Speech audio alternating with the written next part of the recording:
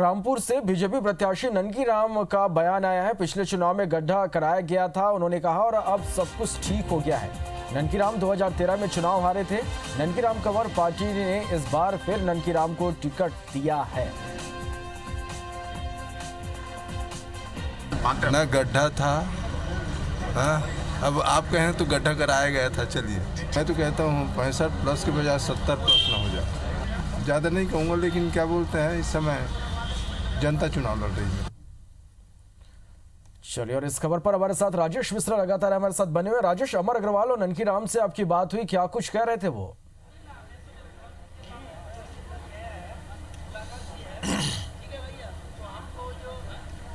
देखिए, अमर अग्रवाल से जब ये पूछा गया कि बिलासपुर में पहली बार बिलासपुर के प्रत्याशी का विरोध मतलब उनके, उनका विरोध करने के लिए कुछ कांग्रेसी यहाँ पर पहुँचे थे कोई विमल राय हैं, उनका समर्थन कर रहे थे, उसके रब में आए थे तो उन्होंने ये कहा कि जो भी लोग आए थे, वो कांग्रेसी थे, उनको पैसा देकर यहाँ पर बुलाया गया था, और ऐसा कोई उनका विरोध वहाँ पर नहीं है, कांग्रेसी है, कांग्रेसियों की चाल थी, कांग्रेसियों की रणनीति थी, और वो यहाँ पर विरोध करने आए थे, उनके टिकट की खिलाफत करने आए थे, और उन्होंने ये भी कहा कि अगर आप चाहें तो बिलासपुर में जाकर इसका पता भी लगा सकते हैं तो उन्होंने कांग्रेस कांग्रेस की इसकी साजिश कहा? उन्होंने कहा कि बिलासपुर में पूरा उनके पक्ष में माहौल है। इस तरह की बात उन्होंने यहाँ पर कही। उसी तरह जब हम ननकी राम कंवर जो प्रत्याशी हैं, भारतीय जनता पार्टी के पूर्व गृह मंत्री रह चुके हैं, पिछला चुनाव वो हार चुके थे और इस बार उनको फिर टिकट दी है, पार्टी ने भरोसा किया। जब उनसे उनसे पूछा गया कि पिछले बार चुनाव में क्या चूक हो गई थी कि आपको हार का सामना करना पड़ा था तो उन्होंने सीधा ये कहा कि चूक नहीं हुई थी, चूक करवाई गई थी, यानी गड्ढा नहीं था, गड्ढा करवाया गया था। इस तरह की उन्होंने बात की। साथ ही साथ उन्होंने ये भी कहा कि अब वो